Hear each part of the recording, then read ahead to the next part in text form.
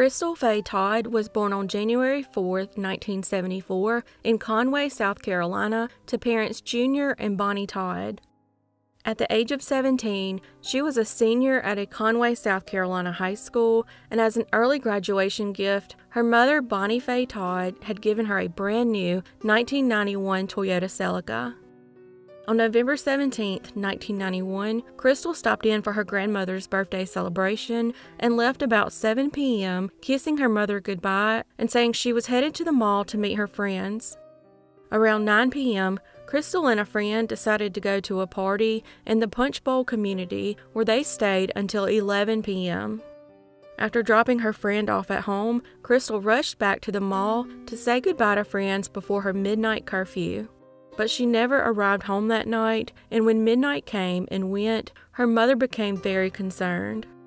At 3 a.m., Bonnie phoned police, and a dispatcher took her description along with the description of her car. He tried to reassure her it wasn't unusual for teens to show up late and that Bonnie should just let him know when her daughter got home. At 8 a.m., Bonnie was panicking and called 911. Next, she contacted her daughter's longtime close friend, Ken Register, who said that he hadn't seen Crystal all night and that he would check the local hospitals. Two of Crystal's friends had found her car parked at the Conway Middle School. An officer was dispatched to the location and found the car locked with Crystal's purse still inside. The officer tried to reassure her that Crystal was likely still out with friends and having too much fun to call or come home. But Bonnie knew that wasn't like Crystal, and she said she knew her daughter wasn't coming home. The next day, on November 18, 1991, two men were driving just outside of Conway in the Maple community when one of them noticed something odd lying in the ditch along the road. Getting out for a closer inspection, the men realized it was a female body. The scene was gruesome, and she was found to have been sexually assaulted. Her mother, a widow, was inconsolable. She told police that she was certain that Crystal's killer was someone she knew.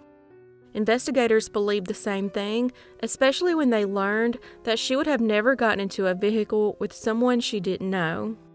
Criminal profilers predicted that the killer would be an angry young white male who was confident the law wouldn't catch him, and he was probably a friend of the victim.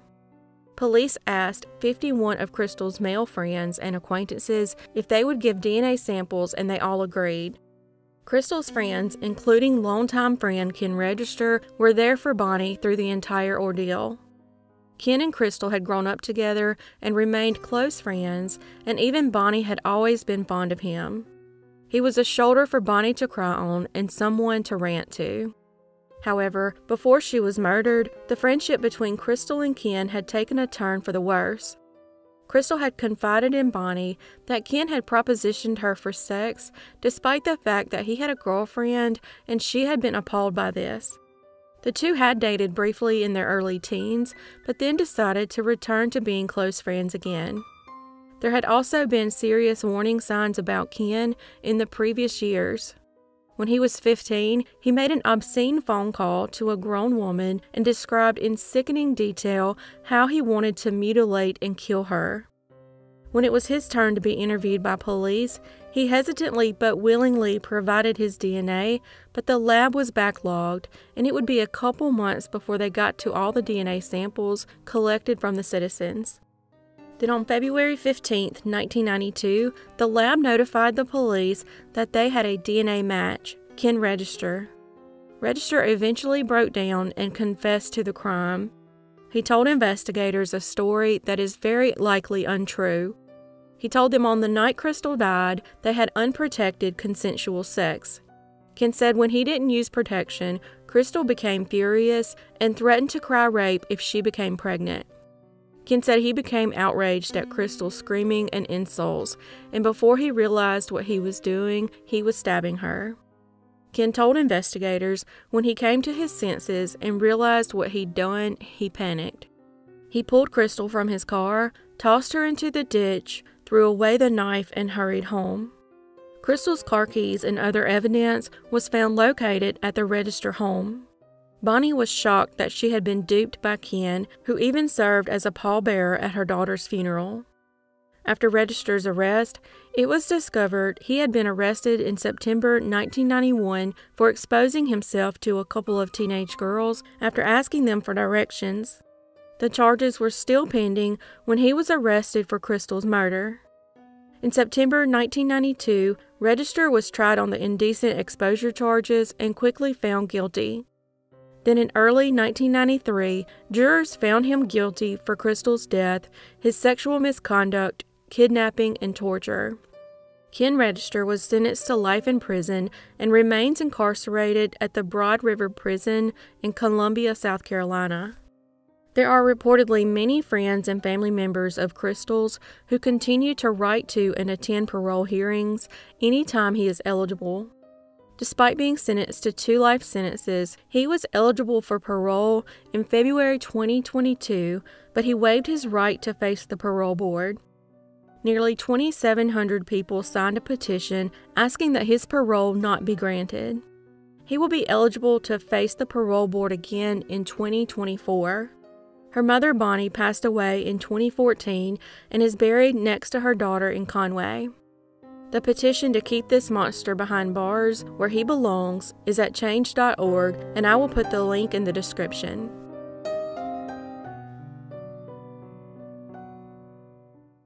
Yanira Cedillos was born on March 3, 1992, and by the age of 30, she was a mother of three young children and described as vibrant and lively with a big smile.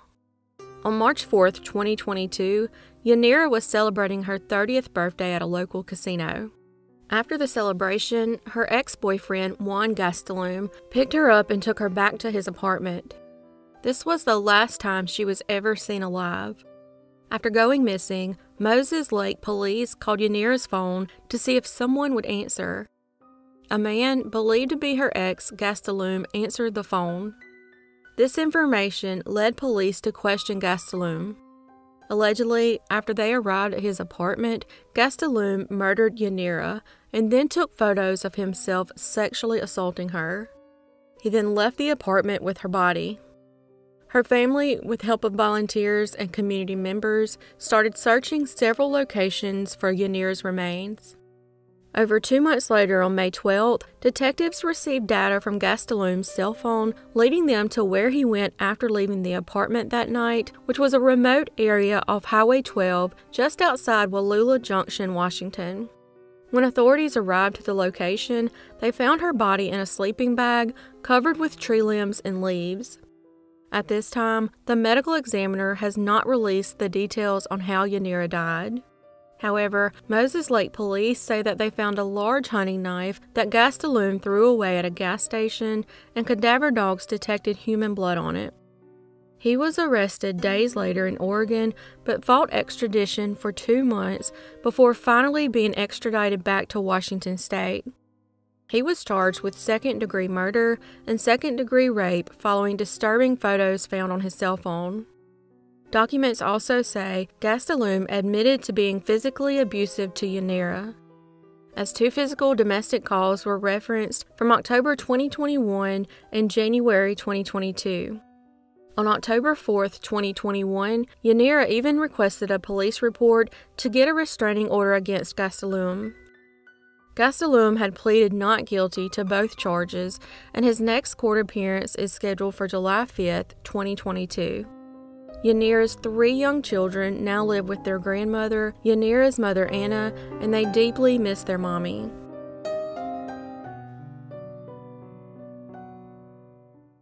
On January 4, 1996, a woman called 911 and reported that a black man had broken into her apartment located at 2205 North Broadway Street in Santa Ana, California, and was stabbing her boyfriend. When police arrived, they found 22 year old Christopher Hervey with multiple stab wounds. Tragically, Christopher would later die from his injuries. His girlfriend, Jade Benning, who he shared the apartment with, would tell police that she woke up at 3 a.m. to find Christopher struggling with the intruder. She said she tried to help but was slashed in the hand. Investigators would also speak with the neighbors who told police they'd heard a loud argument inside the apartment before police arrived. Detectives for this case told reporters at the time that it seemed like it was an attempted burglary gone wrong and nobody was arrested. The case went cold until January 2020 when investigators received an anonymous letter implicating Jade Benning for the murder of Christopher Hervey. After reopening the case, investigators found forensic evidence linking her to the crime. So on May 3, 2022, 26 years after his death, Benning, now a mother of three, was arrested by the Marshals Lone Star Fugitive Task Force near her home in Austin, Texas, and charged with his murder. In 1986, Michelle Welch was 12 years old and lived in Tacoma, Washington. On March 26, 1986, a babysitter allowed Michelle and her two younger sisters to ride their bikes to the nearby Puget Park in Tacoma. When they arrived, they realized they left their lunches, so Michelle rode her bike back home and then returned with their lunches. When she returned, she chained her bike next to one of her sister's bikes, set the lunches on the table, and went looking for her siblings, who had gone to a nearby business to use the restroom because there wasn't any at the park. When Michelle's sisters returned to the park, they didn't see her, so they went and played near a cave under the bridge for another half an hour. When the sisters returned to the park, they found a brown paper bag with their lunches on the table, but still no Michelle. They called her name and started down a trail looking for her before their babysitter summoned them back. It was then determined that Michelle was missing. A classmate later told detectives that he saw a man in the park that day under the Proctor Bridge who kept watching the girls. Police were called to the park and began searching with a tracking dog. That night before midnight, the dog found her body in a makeshift fire pit area in the gulch. She had been beaten and sexually assaulted and died from a cut to the neck. DNA was collected and preserved, but unfortunately, there were no matches in the CODIS database. Parents of children in Tacoma would no longer allow their kids to ride their bikes or venture out as they had always done. Her murder would go unsolved for the next 30 years. In 2018, Parabon Nanolabs uploaded the suspect's DNA to GEDmatch, a public genetic genealogy database which permits searches of this type. Genetic genealogists then began building an in depth family tree, narrowing the suspect to one of two brothers, Gary Charles Hartman. Both brothers had lived in Tacoma, Washington when Michelle was murdered. The pair was placed under police surveillance, and officers eventually followed Gary Hartman into a restaurant where they obtained a napkin he had used and discarded. Lo and behold, the DNA matched the DNA from the crime scene. 70 year old Gary Hartman was charged with her rape and murder and sentenced to more than 26 years in prison. At his sentencing, he told his own family that he was sorry. According to reports, Hartman was working as a community nurse specialist at Western State Hospital and had a clean criminal record. However, Michelle wasn't the only young girl murdered in Tacoma in 1986. Within months of her murder, 13 year old Jennifer Bastian was also murdered. It was always believed that their killers were likely the same person, as their slayings were very similar and both had been innocently riding their bikes through the city parks, but in 2016, Parabon Nanolabs created a snapshot phenotype report to the task force, which showed that although both men were Caucasian, the suspect in Michelle's case had 9% Northern Native American admixture, and Jennifer's killer did not, meaning they were not the same person. Jennifer's killer, 66 year old Robert Washburn, was also caught using information provided to investigators by genetic genealogists. Just like Hartman, Washburn was caught after a paper napkin was collected that he had been using at a restaurant, allowing them to collect his DNA.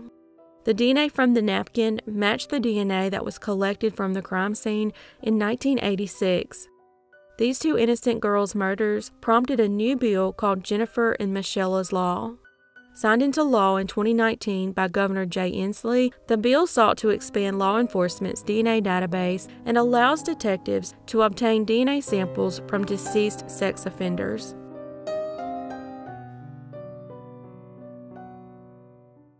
Here is an update to a cold case that I featured in a previous main video that has been recently solved. On the morning of December 7, 1985, in Frenchville, Maine, Armand and Lorraine Pelletier's Siberian Husky was let outside to relieve himself in the freezing temperatures and returned ever so gently holding a deceased newborn baby. Shocked, the couple took the baby in and called police. It was discovered that a woman gave birth just 700 feet from the home. She then left the infant in the snow and below zero temperatures. Upon leaving, she left tire prints in the snow. Police told them the newborn baby may have lived up to 30 minutes in the 30 below temperatures. The couple was never able to have children of their own and said had the baby survived, they would have loved to adopt her. Nearly 37 years later, on June 13, 2022, Maine State Police detectives traveled to Lowell, Massachusetts to arrest the mother of baby Jane Doe. Using genetic genealogy, DNA, and many years of hard work, the suspect was finally identified. The mother was identified as 58 year old Leanne Daigle, formerly Leanne Garrett of Lowell, Massachusetts. She was quickly charged with the infant's murder but has pleaded not guilty. At the age of 21, Daigle reportedly drove to a gravel pit in Frenchville and gave birth to a baby girl. She alleges that she had no clue that she was pregnant, and on the night of December 6, 1985, she was driving home from work when she had the sudden urge to urinate. She pulled to the side of the road and gave birth and believed the infant was stillborn and left, blocking out what had just occurred. A couple weeks later, she and her new boyfriend moved in together in New Hampshire, where he was offered a new job. They had met at a July 4th celebration five months before she gave birth.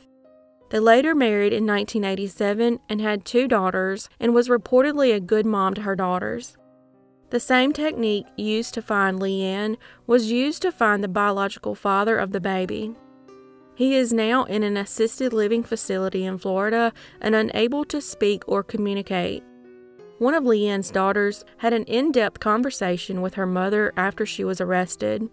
Daigle said she had blocked out the memory and didn't recall anything about it until the police showed up to her door telling her she was the mother of an infant found dead decades earlier. It was determined she likely became pregnant on her 21st birthday, but does not remember what happened the night of her birthday and did not recognize the name of the baby's father. She stated she suspects that she was drugged and raped. Her new boyfriend, who would later become her husband, stated if he had known she was pregnant at the time they started dating, that he would have wanted her to keep the baby and have them raise it together. He said that if she knew about the pregnancy, she may have hid it out of fear that he would leave her. At first, detectives did not believe that Daigle could have given birth without help and suspected John Daigle, her then boyfriend of several months, had assisted her. John said he produced a college transcript showing that he was in Orono in early December finishing school, and a roommate from the time sent police an email backing up his alibi. This will definitely be a case to continue to watch.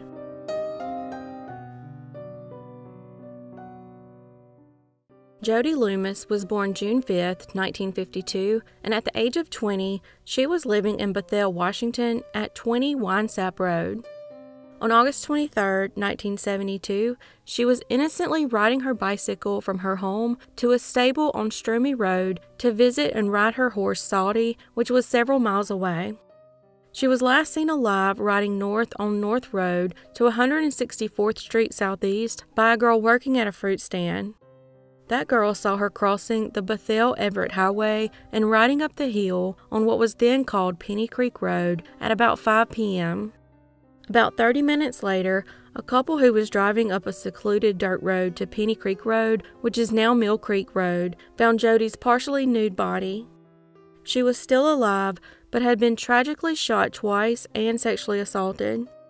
They placed her into their Saab Sonett and was sadly pronounced dead on arrival to the hospital. It was determined that she had likely been shot with a 22 caliber weapon. Also, the bridle of her horse was missing from the crime scene and her bicycle had been thrown down a steep embankment. her murder would go unsolved for the next 46 years. In 2008, a state crime lab technician discovered a tiny semen stain on Jody's boot that had previously gone unnoticed. This DNA would be used years later to begin a new investigation using genetic genealogy performed by Parabon Nanolabs and genetic genealogist Deb Stone.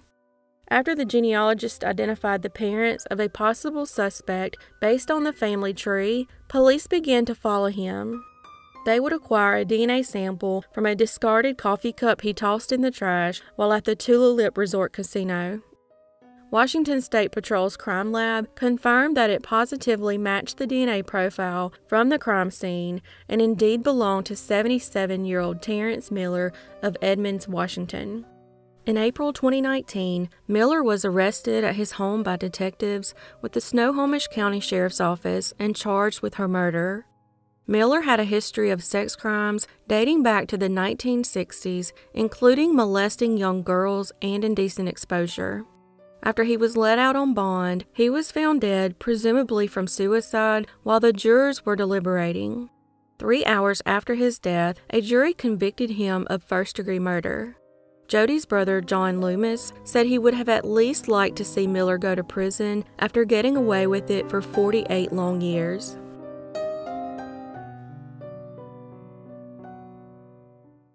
At the age of 30, Sherri Renee Herrera was a mother of four children living in Tulare, California. On March 30th, 1993, Sherri had been dropped off at a rest area between Tulare and Pixley, California, and had arranged to be picked up in 10 minutes. This would be the last time she was seen alive.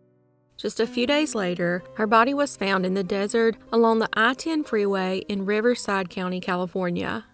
DNA was collected from her body in the crime scene, and she had been sexually assaulted and strangled.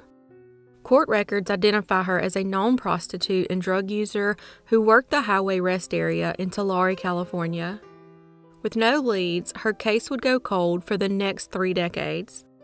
In late May of 2022, Texas Rangers arrested 67 year old Douglas Thomas at his home in Waco, Texas, for the murder of Shinda Denise Hayes. Shinda had been found murdered in Titus County, Texas, in April of 1992, and just like Sherri, Shinda was also a known prostitute. Thomas was connected by authorities to that murder by a DNA match to evidence obtained from the crime scene. Thomas had traveled extensively throughout the United States during his 40 plus years as a truck driver. Using genetic genealogy, a family tree was created which led them to recently retired Thomas, likely being responsible for Sherri's death as well. Investigators traveled to Texas and interviewed Thomas about Sherri's homicide. His DNA was collected to verify that he was indeed the suspect they were looking for. Based on their investigation, he was charged with her rape and murder. Thomas remains in custody in Texas and will be prosecuted first for the 1992 murder of Shinda. The DA's office will then request extradition to California to face justice for the murder of Sherri. It is believed that Thomas is a serial killer with more victims during his decades working as a long haul truck driver.